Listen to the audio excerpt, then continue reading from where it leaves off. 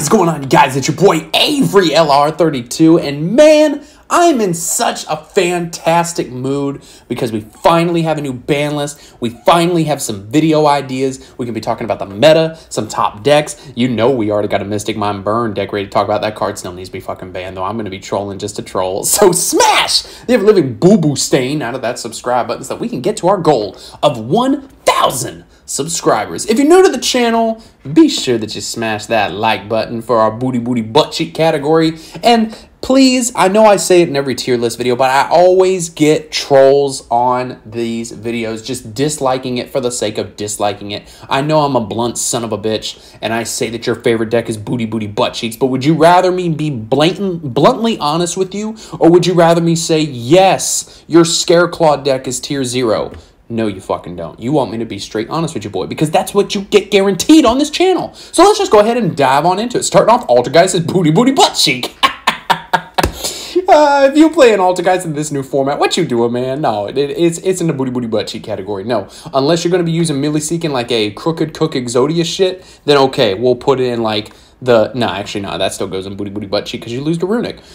So these are going to be in no particular order but we are going to get the big time uh, what do you call it the hot takes on out of the way. This is tier fucking zero. This is tier 1.5 so don't hate on the video. Don't be leaving. Just just relax. Try to relax your anus. Hear me out. This is what's going on.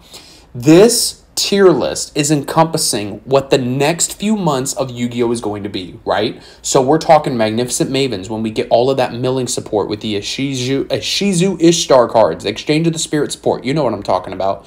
Then we've also got Darkwing Blast that is going to have the Bystial monsters, which are fucking insane, guys. Like, you need to go read those cards. Like, go read them like five times each because a lot of those cards, especially the the level 12 all-seeing eye, looks like a boss monster out of Final Fantasy shit. That card's disgusting. The Bahamut is disgusting. Like there's a lot of good cards in those Bystial cards.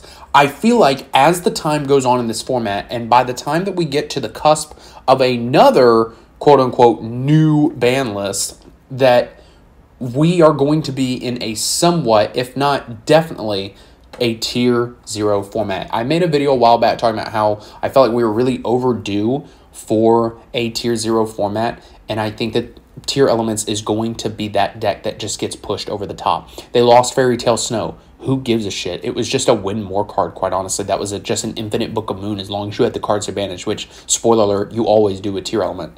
You know, there's going to be so many different ways to build the deck by the time that we have Darkwing Blast and Magnificent Mavens because they can either play the Exchange of the Spirit Trap along with Gravekeeper's Trap to just call out every card that you draw and make you ditch and basically not have a draw phase, or they can just go the straight mill route, or they can just play some of the other monsters that mill just to have more cards that mill.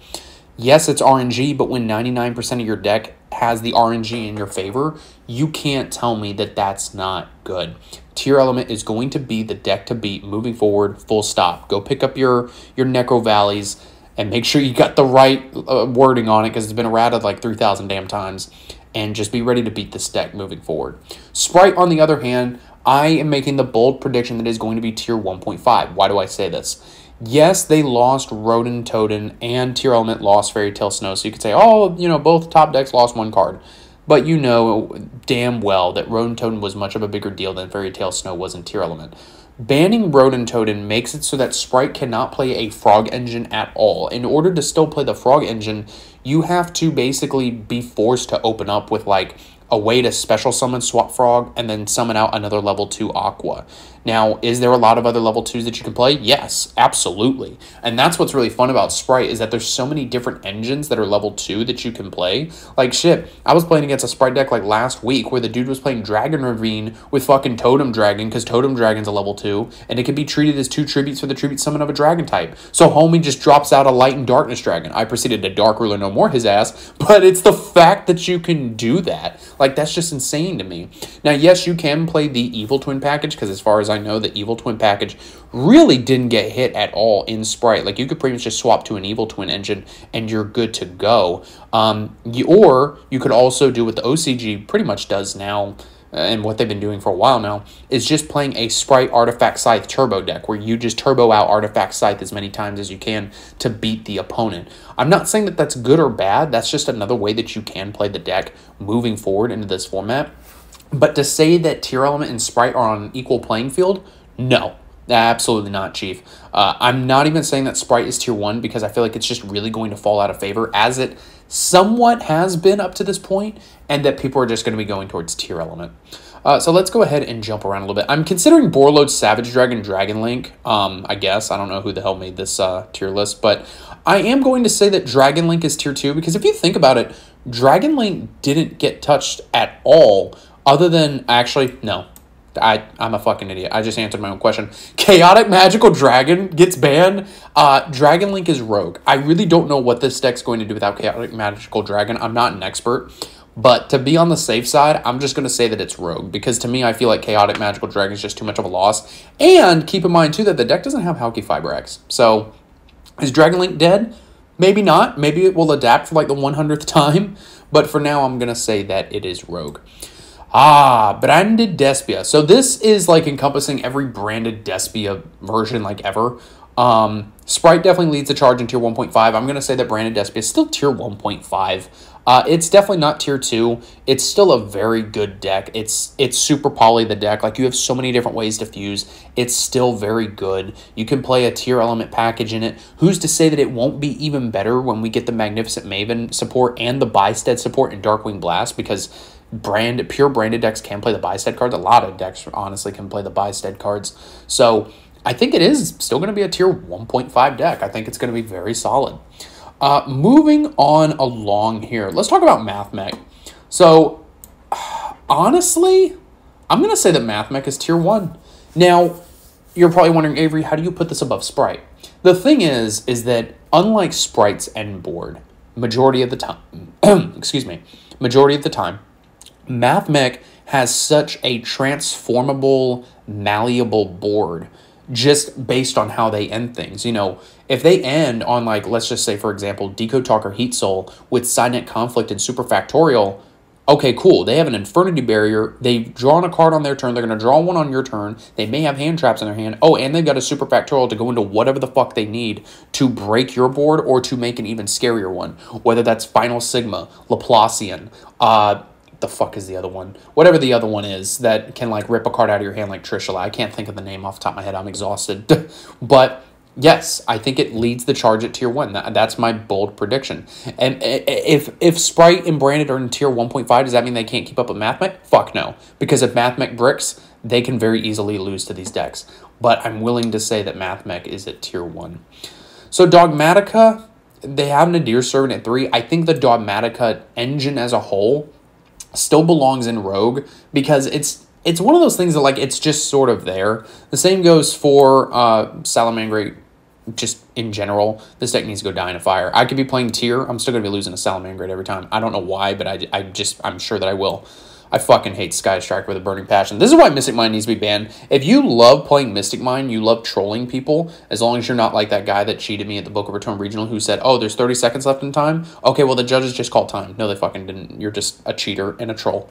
um, I mean, it's it's Mystic Mine the deck. Like, it's it's a good rogue deck. Same for Salad. You know, they're they're solid rogue picks. You can catch people off guard, especially if you have good technical play. You're going to get rewarded for these. Drytron.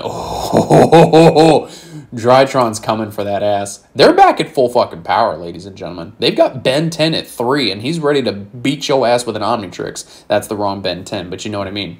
Uh, if you can learn the ins and outs to fucking Drytron, like, you're going to get rewarded for it, pimp. This, this deck's good. It's tier 1.5. It, it really, really is. Uh, I'm almost tempted to move it into tier 1, but yeah, actually, fuck it. I gotta move it to tier one. It's gonna be fucking bonkers with that being at tier one. Uh, or with Benten being at 3, excuse me. Uh, Evil Twins, I'm also to put here at tier 1.5. They're just to be tied hand in hand with, with Sprite. Virtual World, they're definitely not tier 2. It's it's really fallen off. I got to put him in the booty booty butt cheek category. Marincess is cool. It's a rogue deck. Sorry, I forgot to put Mystic Mine up here. Yeah, it's Mystic Mine the format still. uh, Dinos, what the fuck are you doing? Uh, please please leave. So Therion ABC the deck. Uh, it's gonna be no, it's not gonna be fucking good. Get please please get out. They're they're booty booty butt cheeks. Tri Brigade booty booty butt cheeks.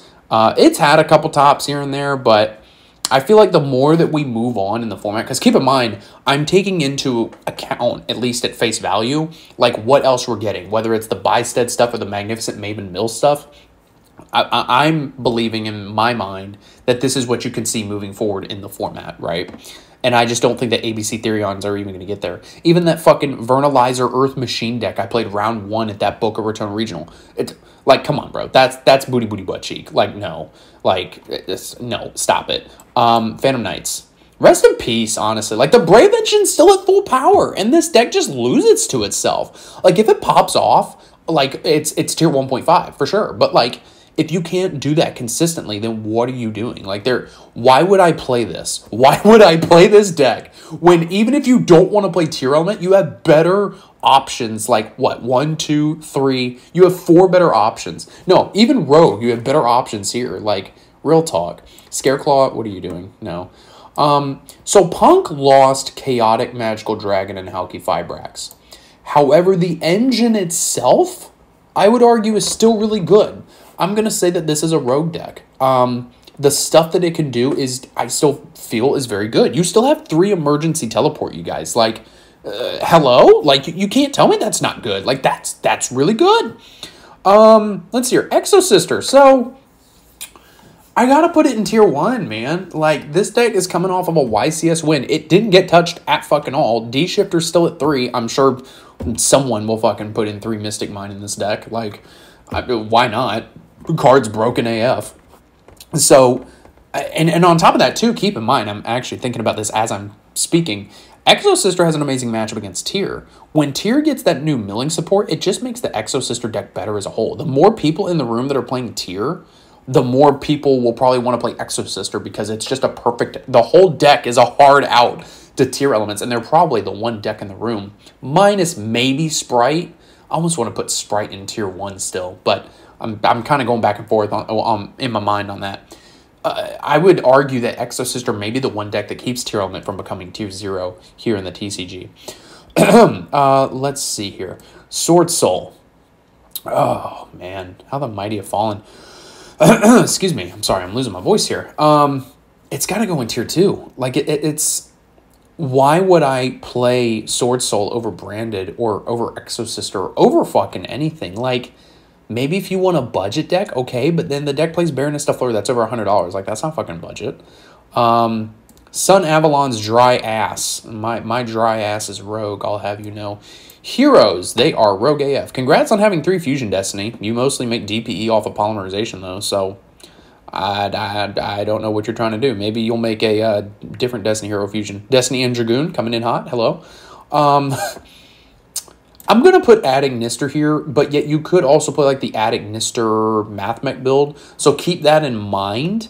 Um, but if you're just playing straight Ignister, I would say that they're tier 2. You get out your 6,000 beat stick, you still lose to Mystic Mine if you don't have an out to it. So, you know, just keep that in mind. Don't try to cheat people and say, oh, he's unaffected by card effects. Yeah, my Crooked Cook's unaffected too, but yeah, I still can't attack. Uh, we're, we're saving Runicks for last. Flunder is, I'm sorry, it's rogue. Like, it's you lose the hand traps. Like if you don't have that extra gas to just keep on moving forward, it, it just it falls behind in Rogue. It's probably Nah, man, it leads the charge in Rogue, but if you hand trap it to fucking hell and back, it's gonna lose. I will say it got better because of the fact that Red Reboot isn't a thing anymore. And honestly, now that I fucking think about it, uh, Salamangreat gets better because there's no red reboot. Eldritch gets a fuck ton better now that there's no red reboot. I'm going to put him in tier 2 though because I really don't feel like Eldritch is going to be that big of a thing to where it's tier 1 or 1.5. I just don't think it's going to get there. It might move up to like tier 1.5 once we get the milling support because then like, you know, Aigido just makes the opponent mill 5 and it's like, okay, cool, I just milled 5 Eldritch traps. Like that seems pretty good, especially if you get like a Golden Lord engrave. Um, but yeah,